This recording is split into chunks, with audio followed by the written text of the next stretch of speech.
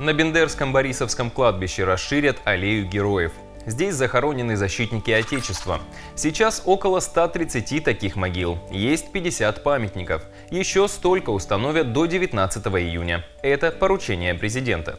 Самое главное, чтобы э, портрет соответствовал фамилии, имя, отчество, году рождения, году смерти. Это принципиально. Поэтому вы свяжитесь с остальными патриотическими организациями, э, которые имеют эти данные. И, Добро. Да, и с ними согласовать каждого, да.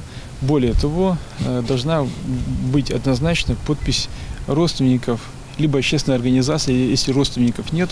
Несколько лет э, велась работа по выделению этого участка земли именно под захоронение участников боевых действий, участников Второй мировой войны, воинов афганцев, воинов-интернационалистов. У нас кроме афганцев есть еще и другие воины-интернационалисты. Вы увидите, что уже первые 50 плит уже установлены.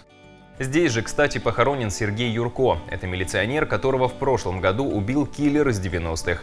Территорию оградят кустарниками и деревьями.